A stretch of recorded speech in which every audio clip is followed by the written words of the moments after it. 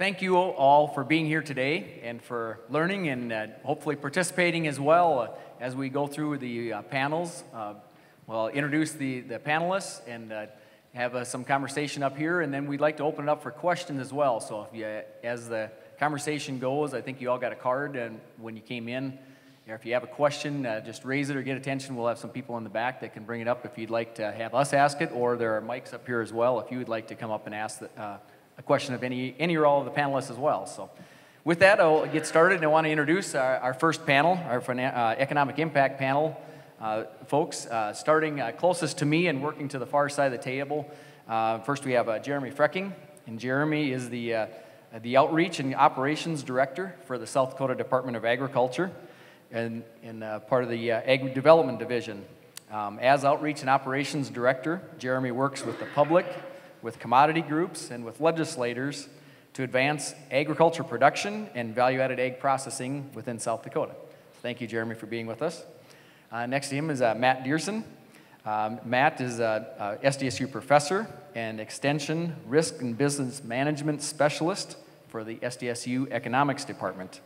Um, he currently serves as the uh, resident risk and business management specialist for SDSU Extension, and it provides a weekly reports providing growers with up-to-date crop prices and projections to help producers develop successful commodity marketing platforms. Thank you for being with us, Matt. Um, next to him is uh, Dr. Bob Thaler. Uh, Dr. Thaler is a SDSU professor and SDSU Extension swine specialist in the animal science department here at SDSU. Uh, Dr. Thaler has served as an extension swine specialist for 30 years and is also a professor in the animal science uh, department, teaching and also has research responsibilities. Um, he's a member of the National Pork Board uh, Swine Educators Executive Committee and is also on the board of directors for the South Dakota Pork Producers Council. Um, also of note, in 2018, he received a Fulbright Scholarship to work at the Vietnam National University of Agriculture in Hanoi for five months. So congratulations on that, and thank you for being with us. And uh, next to Dr. Thaler is uh, Tracy Erickson. And uh, Tracy uh, grew up on a dairy farm as a dairy farmer and is now a crop farmer. And also, in addition to that, uh, she uh, double majored in dairy production and manufacturing and has her master's degree in human resource management.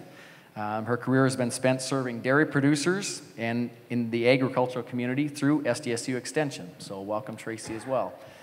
So, um, as you can see, we have uh, uh, some folks that have worked in a lot of uh, different areas and have some uh, great perspectives on the agricultural industry from an economic standpoint. Um, Jeremy, since you're sitting uh, closest to me, I'll, I'll, just lead off with you and just ask uh, you, um, you know, why should South Dakota and southwestern Minnesota be open to pursuing livestock development? And with it, you know, why should we be open to it, and what opportunities are you seeing in the area? Sure. Thank you, Mike.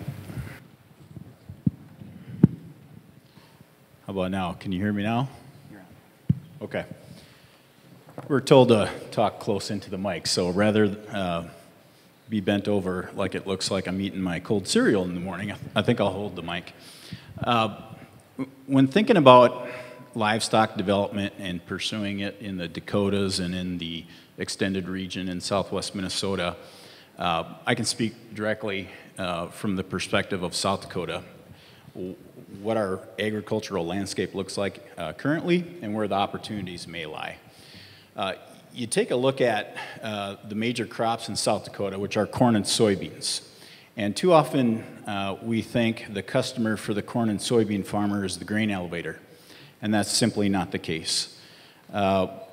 We raise about 800 million bushels of corn in South Dakota. About half of that is, uh, goes into ethanol production, and about 80 to 100 million uh, goes into feeding livestock, and the remaining 310 million bushels leave the state, whether they're exported overseas or go to other states to feed their livestock.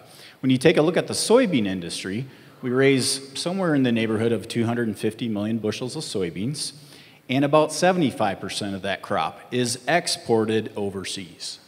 And as we all know, or some of you may not know, that 98% of all soybean meal is done to do what? Feed livestock. And so I, I think when we take a look at the wide basis that we have in the Dakotas, uh, couldn't we capture some opportunity in value-added egg production through livestock expansion, livestock development, and even some value-added egg processing in the state to take advantage of our large supply of corn and soybeans? Um, you know, we've seen areas in the state where they have successful livestock development and production, and they have a lot of uh, productive ancillary benefits to the economy. You have your electricians, your plumbers, your welders, your feed mills, and it helps boost the local economy. Um, it also, through livestock production, we can bring the younger generation back to the farm. Uh, with today's technology, uh, a young person can come back to the family farm, maybe put up a 2,400 head hog barn, and through that technology and management systems that they employ today, they could probably spend about two to four hours per day in that swine operation and then spend the rest of their time helping out on the rest of the family farm. And so, uh, lastly, when looking at livestock development in the state of South Dakota, uh, you know, I spoke earlier about the uh, supply of corn and soybeans that we have to feed our livestock. Uh, did you know that, you know, raising beef, feeding beef, it takes uh, 90 bushels uh, per headspace per year to feed uh, that one headspace. And so if you take those 90 bushels, multiply it by 100,000, there's another demand for 9 million bushels of corn. Uh, if you take it roughly times, if we had it, if we doubled what we're currently feeding now, which the governor said is 430,000 beef cattle, if we doubled it, that'd be equivalent to another 40 million bushels of corn and when you put it into perspective, that's uh, you know similar to the size of an ethanol plant. And so, with that type of uh, supply, and then utilizing the demand uh, here in the state for livestock production, we can really advance our local economies and put more kids in our local schools and and uh, more more money in Main Street, South Dakota.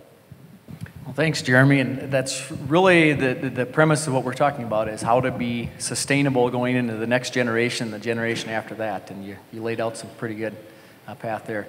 Uh, Matt, I know that uh, me personally, I've uh, utilized a lot of the information that you, you post um, on, on the web websites and a lot of your information. And so glad you're able to join us here today to share some of that. Um, as, as an ag producer myself and a lot of producers in the room, a lot of times we get so micro focused on what we're doing. And uh, I know that you, you can look at things from big picture and economic side of things. That's side of things that uh, we, we hang out in our tractors and our combines and we forget to take time to think big picture a lot of times. So would you share a little bit of, you know, what are you seeing as far as big picture trends, um, you know, as it relates to livestock development in uh, you know, western Minnesota, uh, eastern South Dakota, just in the general area. You know, what are what uh, what things are you seeing, and, and what what things should producers be aware of um, concerning those trends that you're seeing? Yeah, um, thank you. The credit to me, or shouldn't go to me, it should go to my students. Uh, I get to work with some wonderful students at SDSU, and a lot of that uh, structural work that's been done um, in the past has been done by graduate students in our department, so um, they, get, they get the credit. Um, trends, um, an anecdote from my class. I teach an ag finance class in the fall semester, and I shock the uh, diversified crop and livestock farm with a, with a financial crisis, uh, something mean economists do.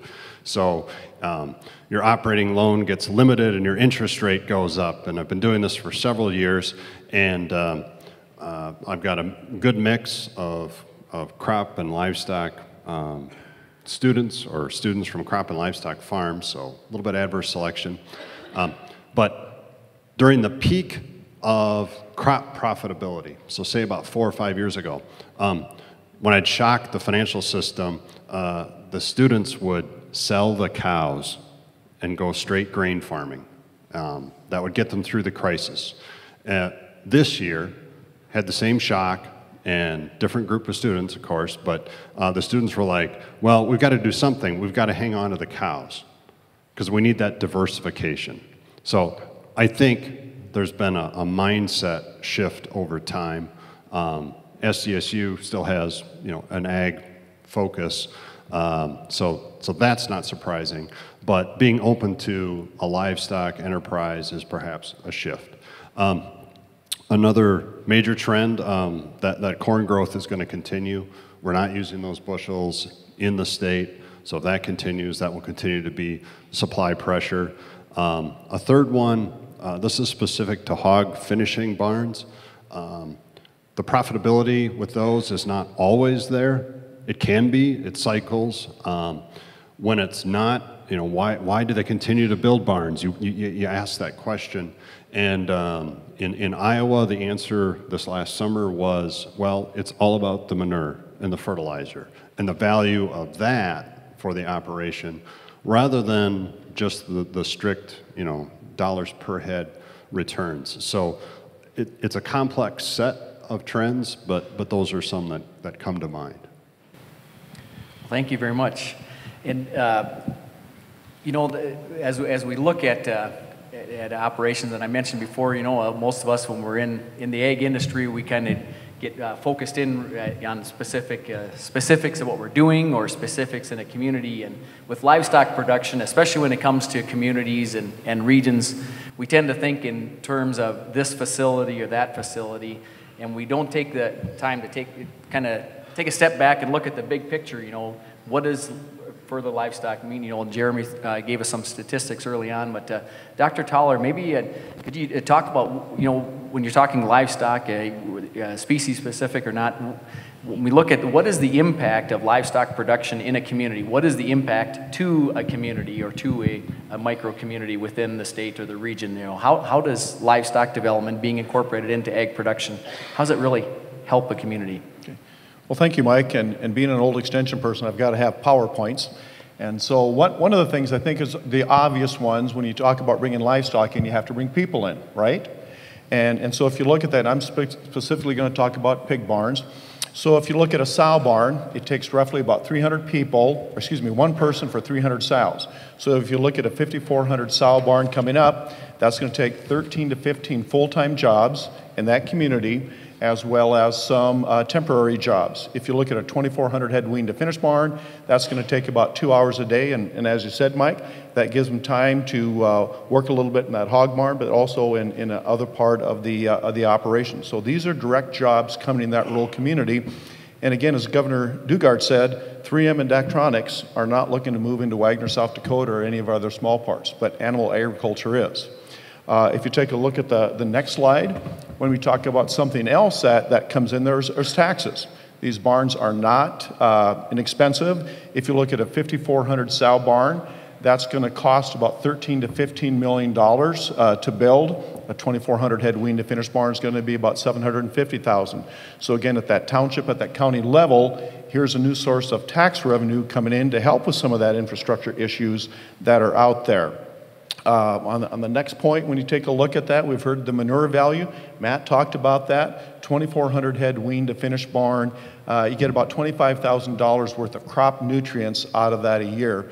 And, and as you mentioned, I remember years ago when, uh, when hog prices were really low, at a South Dakota pork producers meeting, it was kind of gallows humor, but they said it looks like we're raising pigs for manure again this year. But uh, hopefully that gets better.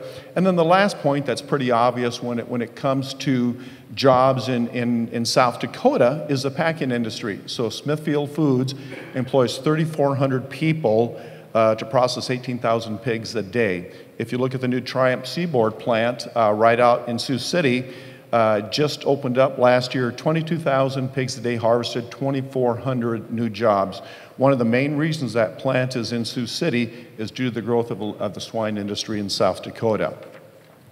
What I want to talk about next is, is, is, jobs that we typically don't associate with livestock and are probably just as important to those rural communities. And what I've done, I've, I've broken them out into three categories.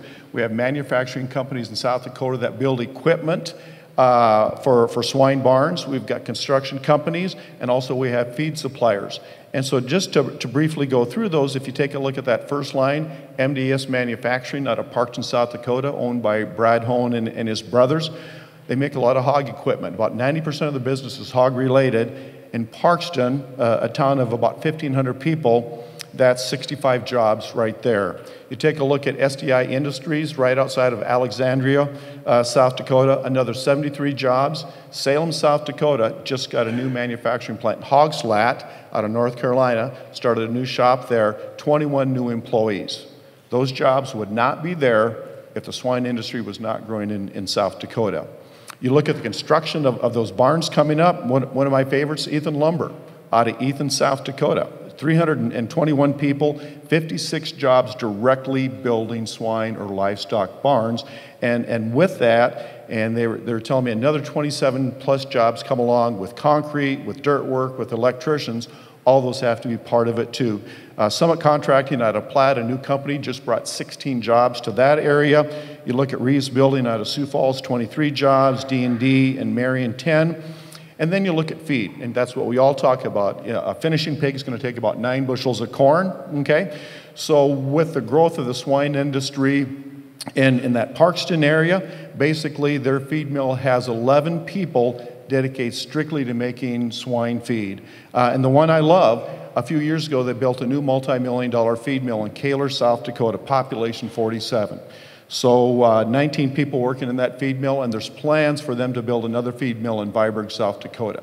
So again, jobs that are there because we're seeing the growth of, of the swine industry. Uh, Stan's Feed and Grain in Alpena, 17 jobs there on the feed side, and, and Central Farmers Co-op in Marion, uh, nine to 10 jobs on the feed side. So again, when, it's easy to talk about the people working in the barns, but it's the people working at MDS Welding. It's people that are driving the trucks for Stan's Feed and Grain. All those are jobs that are critically important to rural communities and are there because of livestock. We've all talked about, about corn a little bit, and, and Matt, I'm not an economist and I haven't stayed at a Holiday Inn Express, but what I am going to do is, is look at corn prices. And if, if you look at that top line, uh, and, and the bottom line, it's corn prices every six months from January of 2014 through July of 2018. The top line is Sioux, uh, Sioux Center, Iowa.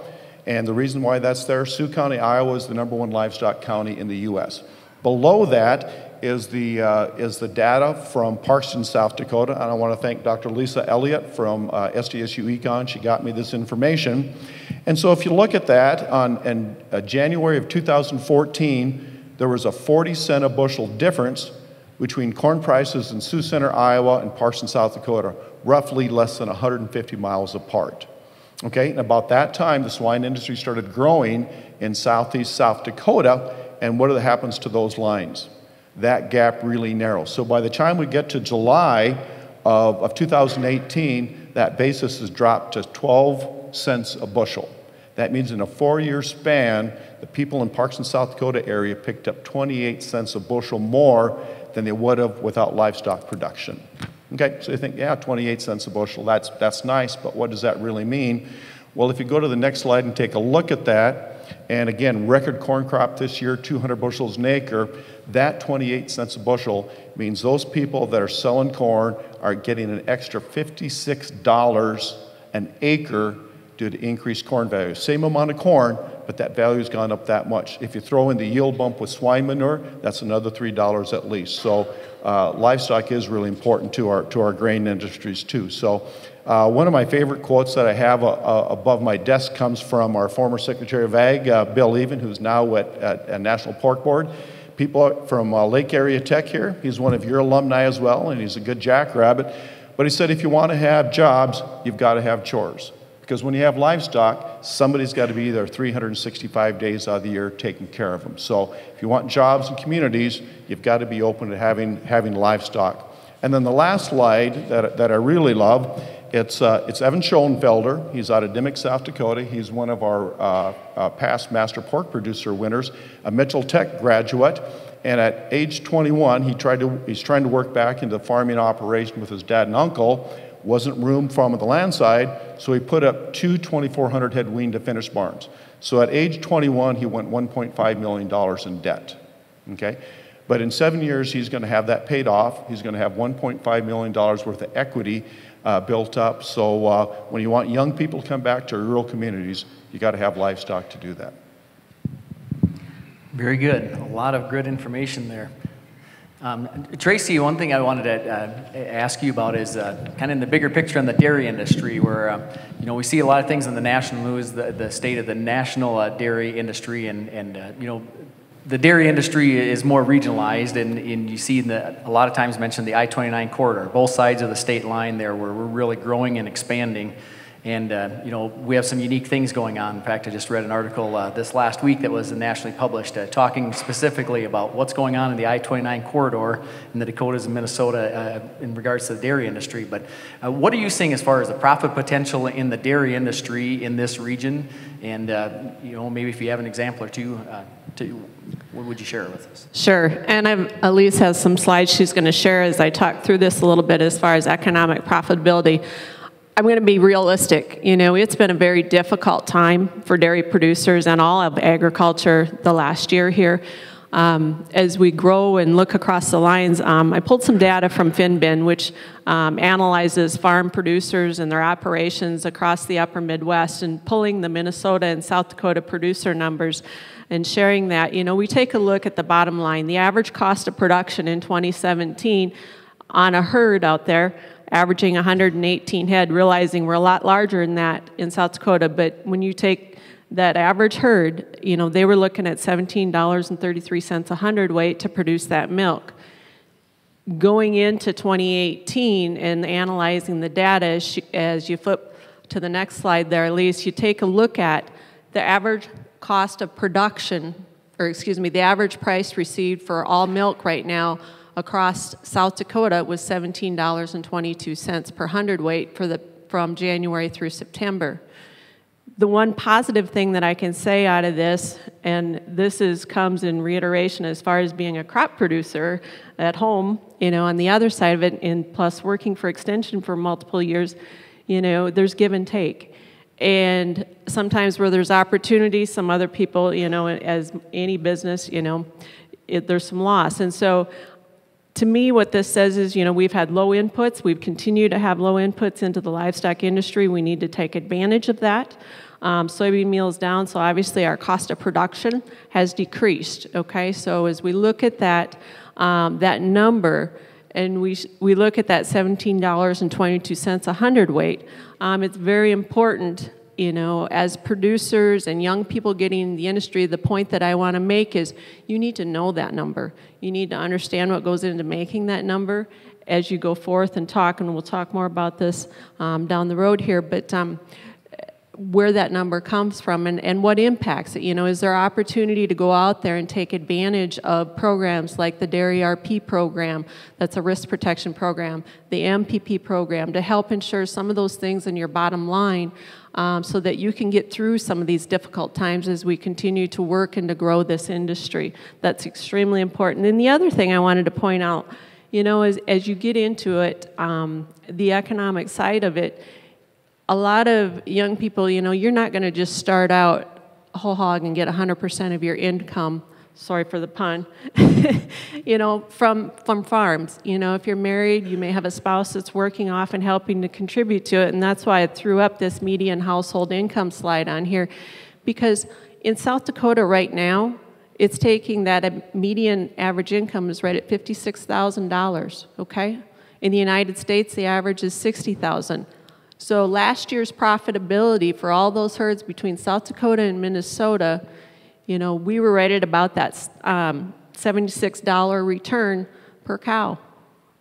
You're going to have to milk right around 786 cows using that figure, you know, just doing some simple math to make a family living 100% from that operation. So go into it realistic.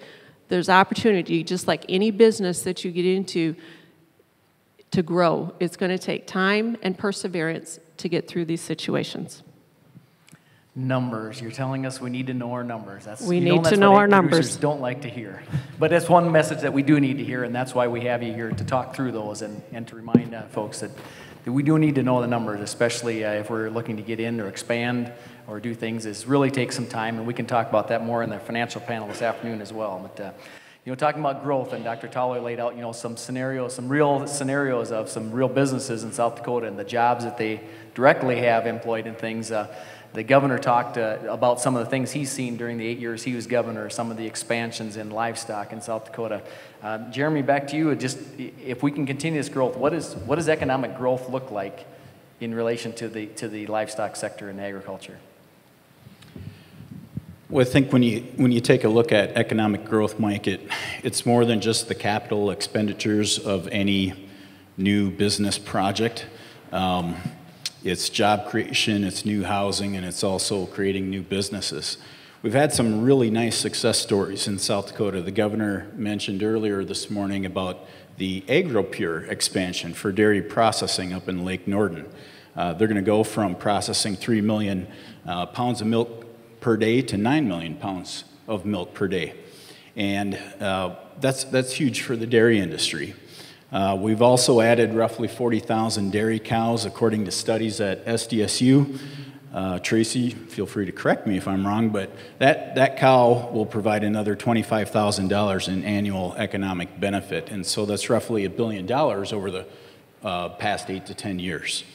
And uh, then it's not so much the uh, ag operations themselves, but you look at all the other uh, ancillary businesses that pop up. A, a fun story uh, I learned of not too long ago was a Mexican restaurant opening up in the small town of Centerville, South Dakota. The wife of a dairy farmer uh, down there saw uh, a need for some folks that really like Mexican food, and, and so now we have a, a new restaurant in the town of Centerville. Uh, although not in South Dakota, the Seaboard Triumph processing plant down in Sioux City has created new jobs and opportunities, uh, not only just in the pork industry, but for other ancillary businesses. As a result, what we've seen in South Dakota is some encouraging increases in swine numbers. In the past three years, South Dakota swine numbers have increased about 8 to 12 percent, compared to the national trend of about 3 to 4 percent. Also, uh, a really exciting uh, success in economic development in the ag industry is on the processing side of soybeans. Uh, up until uh, the announcement a year or so ago, uh, South Dakota had two soybean processing plants, one with a capacity of 28 billion or 28 million bushels per year, and, and another smaller one in Miller, South Dakota, with a 4 million bushel capacity. Well, with construction going on with the new AGP soybean processing facility up in Aberdeen, uh, we're hearing uh, the capacity for processing could be upwards of 50 million bushels per year or more. And when you put it into perspective, that's, that's almost a fifth of our state's soybean crop.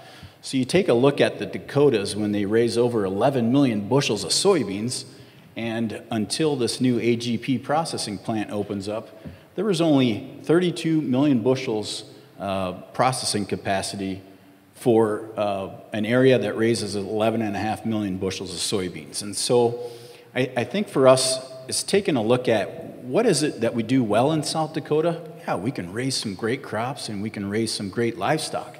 But how can we capture more of the value added economic benefit right here in the state? You know, China, well, we, we could talk about China all day long, and I know we're short on time, but you know, they import a third of the U.S. soybean crop. But they don't take uh, soybean meal. They want the raw commodity of soybeans. And so uh, here we are re- relying upon one country uh, to, to take care of a third of the soybean production in the United States. And then you have a trade war and tariff issues, and look what happens. Soybean prices are very uncertain and as low as they've been since 2006. And so, much like a farmer needs to diversify, I think the egg industry in South Dakota also needs to diversify. Yeah, it's great to, to ship raw uh, commodity products elsewhere, but let's do something with it here. It's kind of like saying, you know, ah, we, we're really good at manufacturing tires. Well, why export those tires and let them build cars elsewhere? Let's, let's, let's build those cars right here in South Dakota. And then um, uh, the governor actually stole my thunder a little bit. I was going to talk about aquaculture. Uh, I think uh, studies showed in 2015 uh, fish farming uh, is now using the equivalent of uh, one and a half of Iowa's entire soybean crop. So, how many of you had an aquarium growing up, or even as an adult? A fish aquarium? Okay, Uh, I dabbled in it for a year and I didn't like cleaning the tank, so I quit. But uh, a lot of these fish, especially the bigger ones, what do they eat? They eat a fish pellet, right? And fish meal is very high in demand, low in supply. Uh, fish meal per ton, I think, is four times the cost of soybean meal. And so, what we're seeing worldwide is 55% of all fish are now being uh, farmed in aquaculture operations because we've overfished our oceans. Think about that 55% of the seafood you eat comes from a farm. So, uh, because fish need that protein source and fish meal is expensive, low in supply, through research done right here at SDSU, they found a way to replace uh, some of that protein component in that fish pellet with soybean meal. And uh, they're doing some great things there at Prairie Aquatech, and that's exciting because uh, it's almost like inventing a new livestock species to feed soybean meal to. I mean, Dr. Thaler, I mean, it's not like we can invent another swine industry, but with the aquaculture industry, that's more opportunity uh, to get the 250 million uh, plus bushels of soybeans that we raise here in the state uh, and enhance the demand for it. And so there's some exciting things going on uh, in aquaculture globally, but also right here in South Dakota. And uh, again, I think that uh, first expansion with Prairie Aquatech, that'll take them from 30 full-time employees. They're going to add another 35 uh, with this expansion, and hopefully great things are on the horizon for not only them, but for other value-added egg companies here in South Dakota. You know, the, the governor talked a little about when uh, he was growing up on a, on a farm, on a dairy farm on, in the 50s and 60s, about how they had very diversified. And even uh, growing up in the 70s, we had a much more livestock diversified farm than we currently do. We still have livestock, but not as much. But we've kind of seen those, those ebbs and, and flows. And, and uh, when you interject livestock uh, back into production agriculture, you increase the amount of livestock in an area, as, as some of your statistics, Dr. Thaler you see uh, uh, things which is called, you know, livestock can kind of be a game changer. And I think that's something that, uh, Matt, I thought I attributed that to you when I was uh, reading some of the articles you did, but now I know that I need to give thanks to your grad students. But, uh, um, you know, livestock can really be a game changer. And that's what we want, that's kind of the discussion we're having. So, what are you seeing in, in regards to that as far as is, uh, is how does livestock be a game changer for a region and, and uh, what are you seeing as far as well, we talked we brushed on some of the ancillary benefits and creation job creation um, direct things but uh, I know you, you you've analyzed this as far more in, in depth too so really how does livestock affect affect a region and and have you seen similar impacts in other areas that you can that kind of put it in perspective for us? Um, I I like to simplify things maybe too much. Um, I guess, ask my students if I do that. Um, I look at corn, I look at soybeans produced in South Dakota. They're big, bulky items. They are easily shipped around the globe. Um, so, I mean, it's hard to fight that. Um, but if you can take those commodities, for example, and it could be other things too. I mean, it doesn't have to be corn and soybeans. Uh, South Dakota's really good at not being number one when it comes to different ag commodities. It's not number one in hogs. It's not number one in soybeans and things like that. So it's got some diversification. So, um, but back to the story. So you've got corn, you've got soybeans, big bulky stuff, hard to move around, or it, it's expensive to ship those. If you can cut that off and feed that corn and soybean meal uh, to something else, and add value. I know it's an overused term, but if you can add value to that corn and soybean uh, meal here and then ship that final product, that's the sweet spot. That, that's, that's where I really see the, and, and that's, you know, South Dakota is not going to become a population center next week. You know, there, there's cities that are growing, but we're, we're, you know, this would be a horrible place to start a huge vegetable operation because, you know, growing season's a little short, things of that nature. So you got to concentrate on the old, uh, um, concentrate on what you're good at. Now, what does impact look like? Um,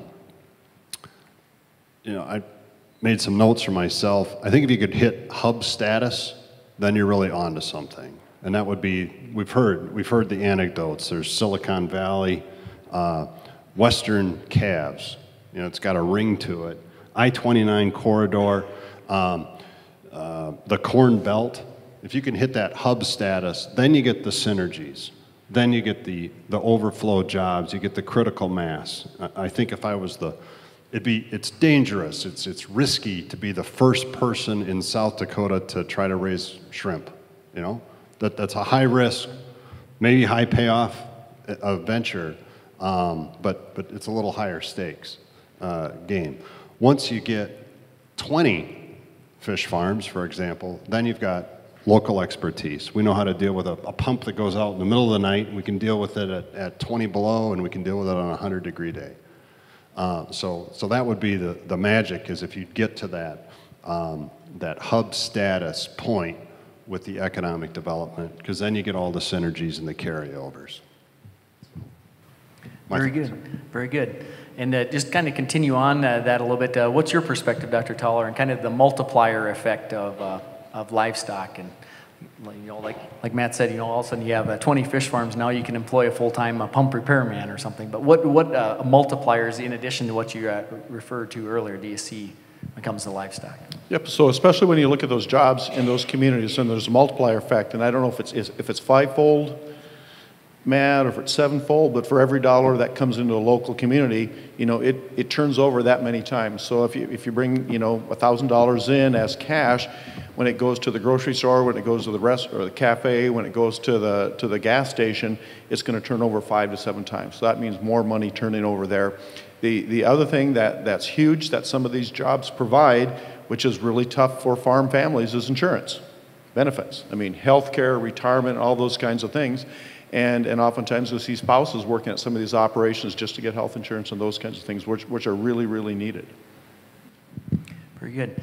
Uh, Trace, you know, as we look at the, at the dairy industry, and you know, you, you, you gave us some numbers uh, earlier about, you know, the average uh, size of the farm, what we're what you're seeing here in, in, South Dakota in this region, what we all are seeing and stuff. Uh, if someone is interested in would like to get into dairy production, what are some of the best ways for them to engage in the industry uh, to get into dairy production?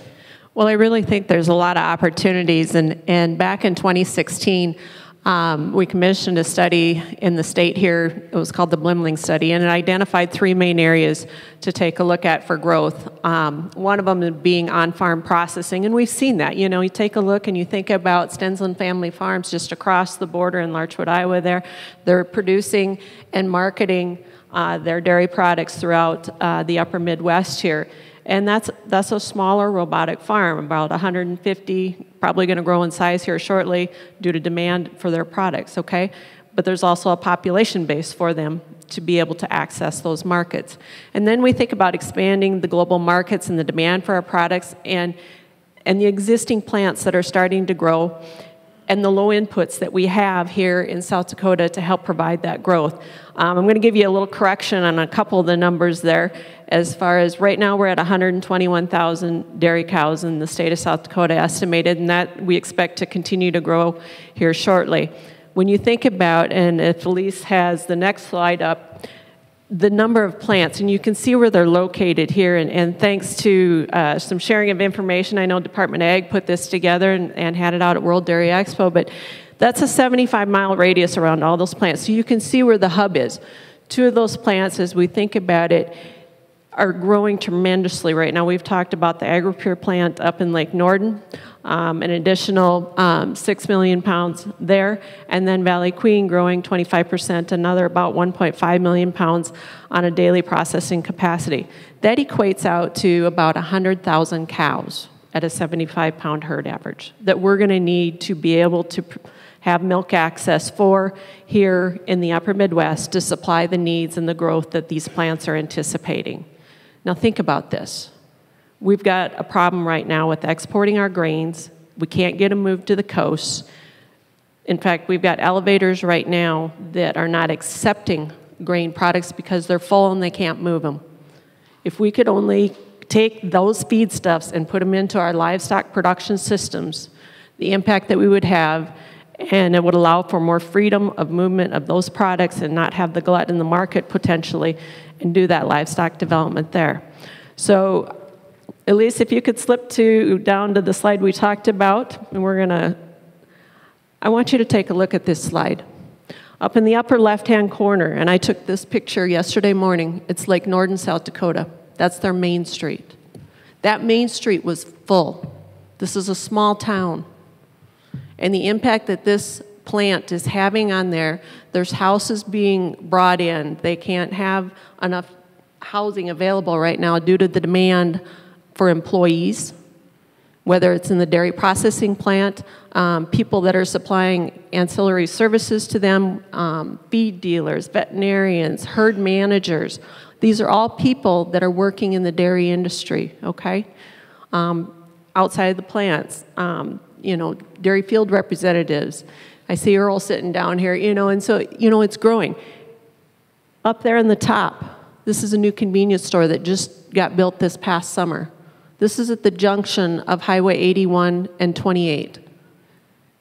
They are anticipating coming out of Lake Norden an additional 100 trucks. They're, right now, they run about 50 semis in and out of there a day. They anticipate that to go to 150 semis a day. That's not counting for the additional truck traffic that we're already seeing up and down, hauling feed and supplies up and down 81 to supply our dairies and our other livestock industries and our ethanol plants and our processing plants that are growing here in South Dakota. This is a good thing. It creates jobs, it creates opportunities, and it puts kids in schools and keeps communities growing. Very good, and that's those are definitely things to think about. And I know as, uh, one of you had mentioned earlier too, uh, or, or, also as President Dunn as well, that the, the tax implications too. You know, gas taxes, local property taxes, all those things that to help uh, with the uh, the uh, farm to to a market uh, road system that we have too. a statistic I heard later, and I maybe get this a little bit wrong, Tracy, but I heard. you know, it, part of it is a demand for a product, but it's to us as human consumers too. And cheese, you know, we all love cheese, or most of us. Um, how much do Americans love cheese? Well, I heard, uh, 10 or 20 years ago, the average uh, American consumption of cheese is 27 pounds per year. Currently, it's 37 pounds. You think, boy, we're eating a lot more cheese. Well, there's more room to grow. Europeans, their average cheese consumption is 47 pounds, I've heard. So, you know, a part of it is as industries is to looking at, uh, you know, what is the demand for your product uh, on that end as well, too, and how you can continue to, to grow your industry as well. So, a lot of, a lot of things we can look at in, in a lot of ways to continue to have that multiplier effect. So uh, we want to eventually get to, uh, to uh, questions here, uh, but uh, just real quickly, um, I have a question for you, Jeremy, uh, and then I have a, a, question for the other three panelists. For the other three, just to think ahead, just for a real quick question would be, um, you know, what advice would you have if you had just a few uh, seconds to, to give advice to some uh, young producers looking to get in the industry. But uh, first, Jeremy, uh, a little bit question, different question for you. A lot of roles you've had have been uh, looking big picture. Um, what does the next 10 years look like in this area in regards to our conversation this morning?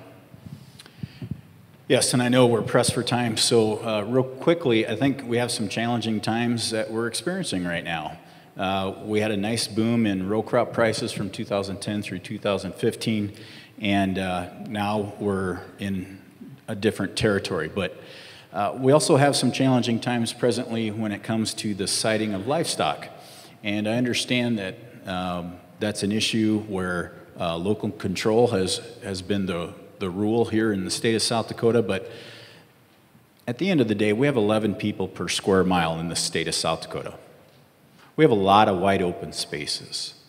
As I travel around the state, and then travel into uh, other states such as southwest Minnesota and northwest Iowa, you're going to see a very different landscape in rural America.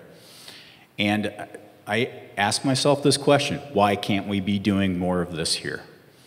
And so that's a question for us to, to really think about when it comes to uh, developing the livestock industry and the processing industry. Um, so, yes, challenging times, but I also want to leave you with an optimistic message because I'm an optimist at heart. People need to eat, right? I mean, you look at the Pacific Rim countries and, and the economies such as China, Indonesia, Vietnam. Uh, if you ever travel to these countries, people have more disposable income. And what happens when people have more disposable income? Their meat consumption rises greatly. So there's more worldwide demand for animal protein now more than ever, and they need our corn and they need our soybeans. However, we also know we can strengthen our economies if we can raise more meat here and export meat instead of raw commodities. Uh, 2006, real quickly, Mike, and then I'll, I'll, I'll stop talking. But 2006 was uh, a boom year, or the beginning of a boom year for the soybean industry. We had similar prices to today, actually a little lower, six, seven dollars. And then what happened?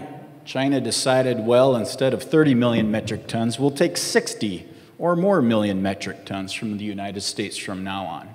And through the period of 2010 through 2015, we, see, we saw soybean prices anywhere from $10 to as high as $17 in 2012. Uh, corn prices were similar during that time frame. There was demand for what South Dakota did well, and that was raising high quality and abundant crops.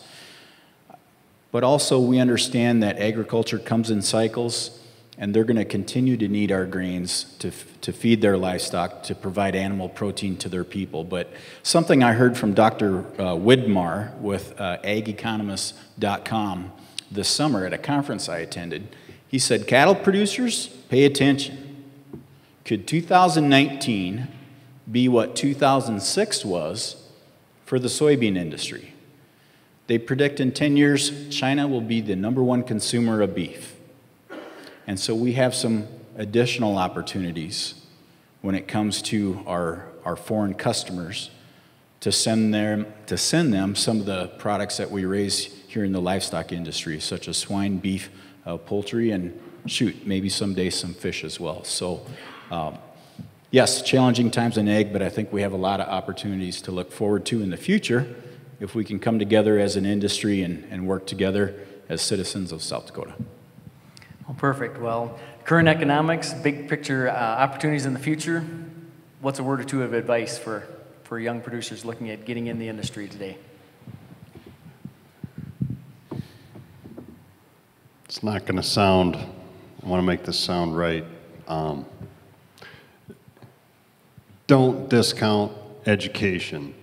Um, you can learn a lot at, at uh, the tech schools, you can learn a lot at SDSU. Um, don't, don't overlook the value of that. And, and a reason for that, or here's this, this other side of it keep an open mind. Um, the largest, well, this is a challenge for all sectors of, of agriculture. You've got huge economies of size.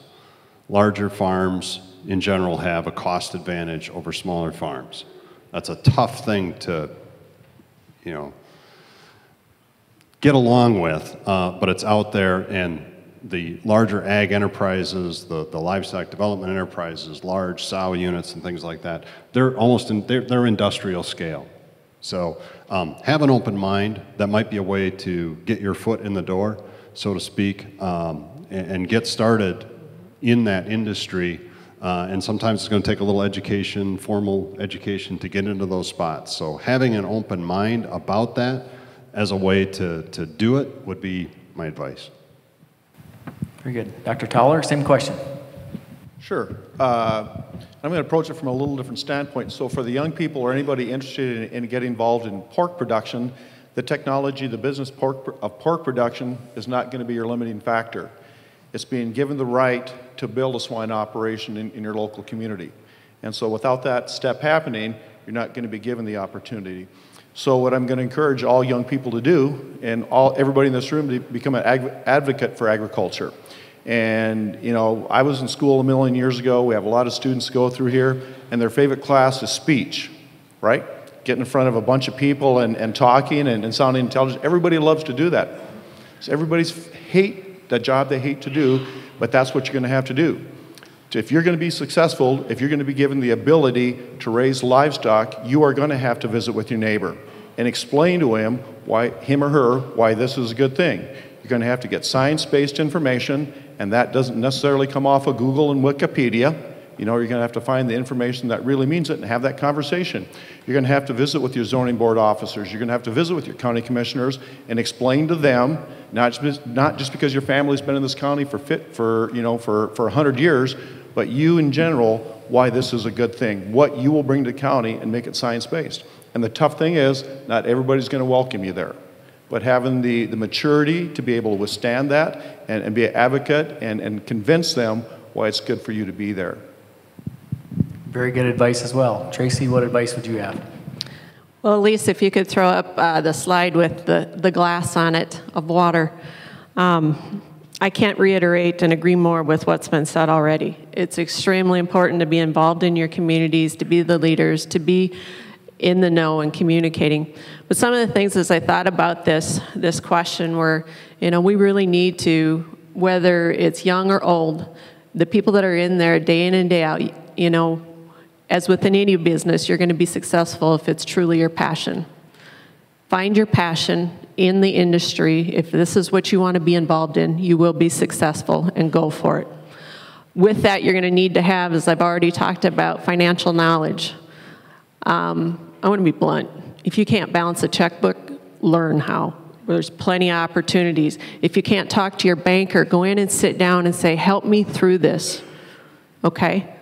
And it goes along with the next one. If you're not sure on some things, gather up that team of trusted advisors and people around you that you can communicate with and sit down and get some really good advice from and ask those hard, difficult questions. There's extension people, there's bankers, there's lenders, there's nutritionists, consultants, veterinarians, and the list goes on and on of people that you should have on your team on a daily basis that you continue to work with and talk through and to gain that knowledge from, okay? And then it's communication skills. Bob hit on this one. I can't reiterate more. Not only that, you know, communicating out in the public and to the consumers, but at home too. Human resource management is probably one of the biggest, scariest areas that our producers deal with on a daily basis. You know, it's an unknown to them. We naturally, in agriculture in the upper Midwest, have a deference to communicating. We're introverts a lot of times, and that's why we farm, because you know what? Cows don't talk back. Okay? But people have ideas and they have thoughts and they're really good ones and we just need to be able to converse and to listen and to gain them and help grow our business okay?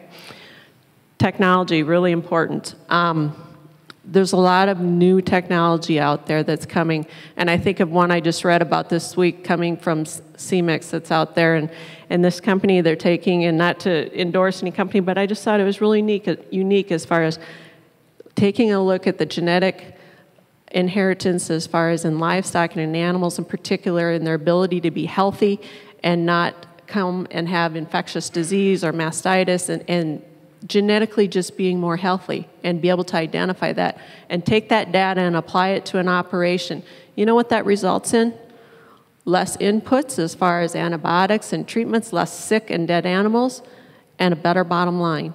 Now that's taking technology and putting it to work for you. And so, you know, there's many of them out there and I can go on and on. You know, AI is probably the biggest one that really helped us along the way as we started out. But use that technology, but then learn how to understand that data and what it's going to do for you. Um, have an entrepreneurial spirit, and it goes along with that willingness to change, you know, and be always open to that and get out there and listen and learn from all the people around us on a daily basis. And the last and probably the most important one is have that positive attitude. Yeah, we're in difficult right, times right now, but you know what? When things are low, they're only going to go up. And we can only continue to go forward. And I think that's really important as we continue to remind ourselves that, you know what? Farming is a business, it's a family business. And I hope to see it continue to grow here in the upper Midwest and the United States. Very good. Well, I, I don't see anyone uh, uh, with a question right now, and I, um, we maybe uh, what might be best is to try and get back on track a little bit. Uh, these panelists will all be around for uh, over lunchtime, uh, our networking time at the conclusion of our afternoon panels. We'll have a lot of time. maybe you can come and visit with them. They'd all be happy to visit in, in any so, sort of depth that you'd have as well. So um, I think just so we can get back on track, we're going to do that. Um, so please uh, uh, be free of, feel free to, to reach out to any of these at any time. Um, at, at, that time, that'll work good. We will get uh, back on track. And, uh, you know, uh, communication was mentioned a lot, and uh, Tracy mentioned inter- introverts. And, you know, in the upper Midwest, you know how to tell an introvert from an extrovert. An introvert, when you go up to talk to them, will look at their shoes. An extrovert will look at your shoes. So that's a good definition of a Midwestern introvert and extrovert. So with that, I'll turn this back over to Chris and we'll switch panels. Uh, Please uh, help me uh, thanking these panelists again for their time this morning.